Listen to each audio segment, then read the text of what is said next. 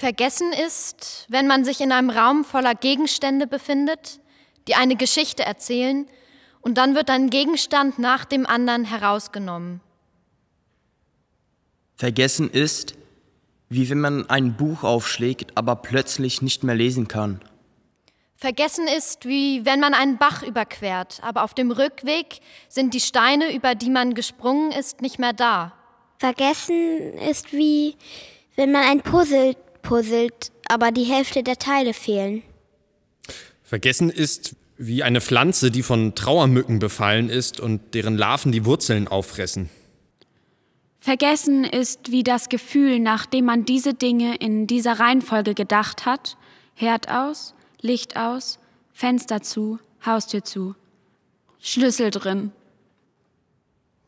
Vergessen ist wie die wachsenden Staubschichten in den Ecken meines Zimmers. Vergessen ist, wie das Berliner BVG-Netz für einen indonesisch sprechenden Touristen mit einem Plan des Londoner Tramnetzes auf Portugiesisch.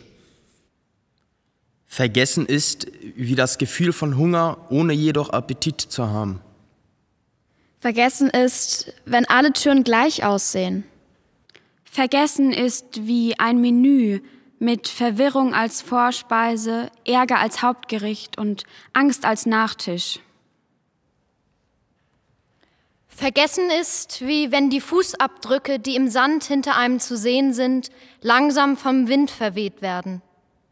Vergessen ist, wie wenn man langsam einen Pullover aufribbelt. Vergessen ist, wie eine Lampe mit Wackelkontakt, die dann ganz ausgeht. Vergessen ist wie eine Pusteblume.